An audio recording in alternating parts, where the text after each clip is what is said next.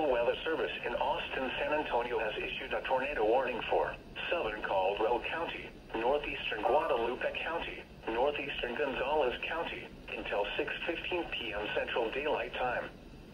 At 5:49 p.m. Central Daylight Time, a severe thunderstorm capable of producing a tornado was located near Kingsbury, 47 miles southwest of Luling, moving northeast at 40 miles per hour. Hazard, tornado hail up to 2 inches in diameter. Source, radar indicated rotation. Impact, flying debris will be dangerous to those caught without shelter. Mobile homes will be damaged or destroyed. Damage to roofs, windows, and vehicles will occur. Tree damage is likely. Locations impacted include Lockhart, Luling, Wilder, Kingsbury, Fentress, Palmetto State Park,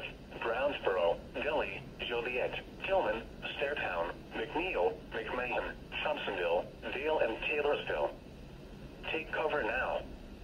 Move to a basement or an interior room on the lowest floor of a sturdy building. Avoid windows. If you are outdoors, in a mobile home, or in a vehicle, move to the closest substantial shelter and protect yourself from flying debris. Motorists should not take shelter under highway overpasses. If you cannot safely drive away from the tornado, as a last resort, either park your vehicle and stay put, or abandon your vehicle and lie down in a low-lying area and protect yourself from flying debris.